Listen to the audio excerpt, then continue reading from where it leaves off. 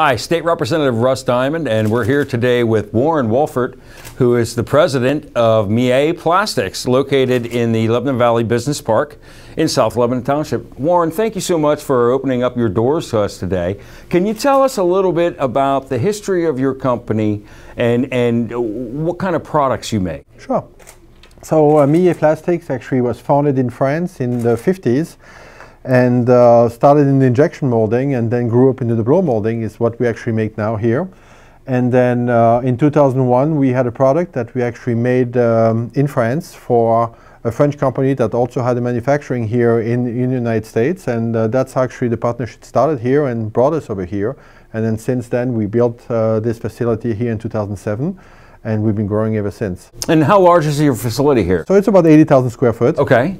And we have about uh, 50 employees. Okay. Yeah. 50 employees. Yeah, yeah. And what kind of skill levels do you look for when, when you're looking to hire people? So, so it, it all really depends, but it goes to where we have people, you know, moving pallets and, and, and mm -hmm. doing, you know, just uh, operator-wise. And then we have higher scales of people that do maintenance and uh, mold setups and uh, starting machines and uh, quality, quality management, where, uh, so it really all depends on the skills that we need, but uh, yeah. Okay, and, and, what sort of products do you actually manufacture? So here? we actually manufacture, well here, for example, here, this there is a bottle here that we actually manufacture right here.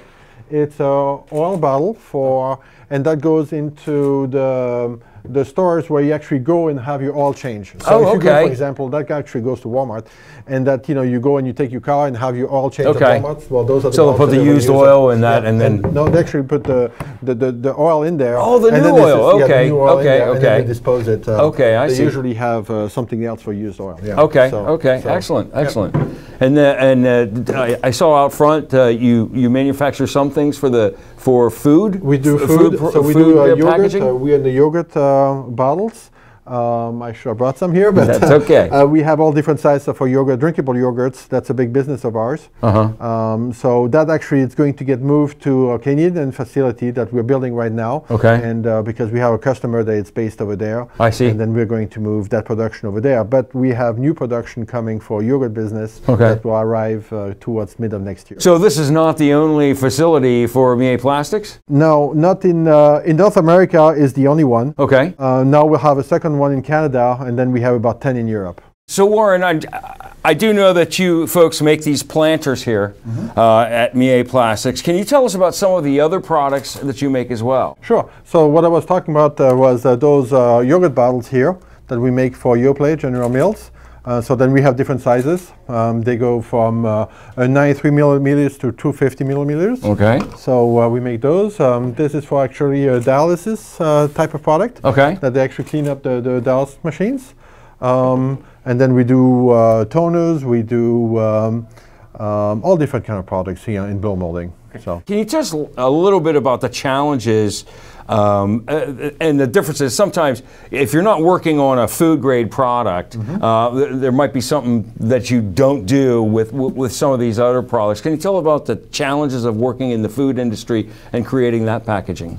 Well, the challenge is really to uh, how, how, do you make sure that your product is going to be clean and right. staying, you know, so that your customer is not going to have any issues coming to that. So, so that's really where you have to use all the ingredients that you're using for those bottles have to be FDA approved, mm -hmm. and then in how you manage it and how you make sure that everything is actually made right. in the way that it's supposed to be done. So, so that's really the more challenging. And then we have all kind of audits that come in place with it because of that, uh, mm-hmm. which we don't really do on the industrial side. Right, right, right. So, uh, where are you looking at now to grow your business? So the, the, the, so we are really separated in two different business where we have our food type of business mm -hmm. and then we have the industrial part of business. So do we have one you know that we want to develop more than the other? Not really, no. Uh, what, what we really want to do is you know what is a good fit for us. Uh, it, it's either way side, it doesn't really matter. We, we are more in uh, high quantities size of products. We make about 120 millions of those a year. Wow. Uh, just to give you an idea. Uh, so, so this is really the way we are set up on, on how we, we, produ we produce it. So uh, if somebody comes and wants to make 20 planners, it's not really our business. You know, mm -hmm. our business is really high quantities. Right, right, and right. That's our right. expertise is. Um, because it's totally, and you'll see it, it's totally automated. You have very few people working on the lines because it's automated from A to Z. Yeah. Oh, okay. Yeah. And uh, can you tell us a little bit about I always like to talk about the people of Lebanon County.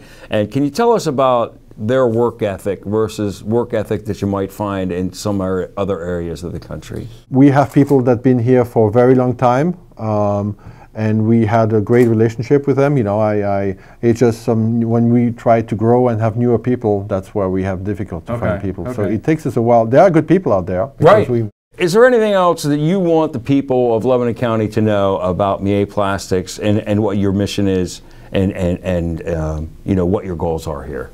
Well, our goal was always to well to, to grow, and but to take care of our people. You know, we are uh, a small company. You know, nobody is ever better than anybody else here, and we try to treat the people the same way. You know that I want to be treated. Right. And I tell the people when they start here, you know, I'm not going to ask you to do anything that I wouldn't want to do, and and that's basically you know the, the, my mission from day one, and try to make it the best place. You know that you know that they come and leave and go back home the same way they came in the morning. You know, Right. so safety is very important for us. Right.